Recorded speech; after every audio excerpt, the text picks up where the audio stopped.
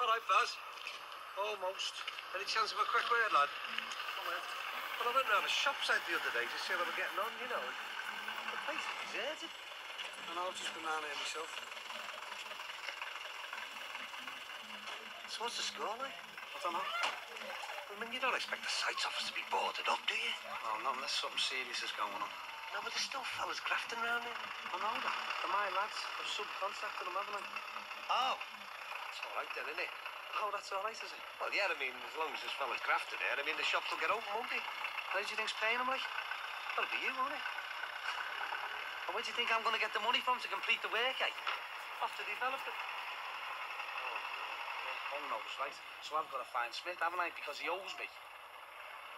So those shops mightn't get opened after all. I don't give a toss about the shops. I've just got to get some money together to pay them fellas on Friday. Why can't you pay him? Are you soft? Hey, all right, steady on, Baz. Steady on, nothing. I've got everything invested in them shops. And I've got me future invested in them. Do you think I want to drive round for the rest of me days in that Moby? Well, that's your problem, isn't it? All I want is Jed Smith. Well, that's okay then, innit? But let's keep your anger pointed at him and not me. Yeah, all right. I don't suppose there's any need for me and you to fall out, is there? No, no reason at all.